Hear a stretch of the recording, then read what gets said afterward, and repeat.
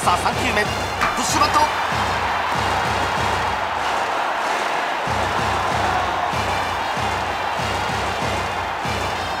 ェアフェアになった。タイガースサヨナラ勝ち。タイガース今日のゲームを勝ち星で飾りました。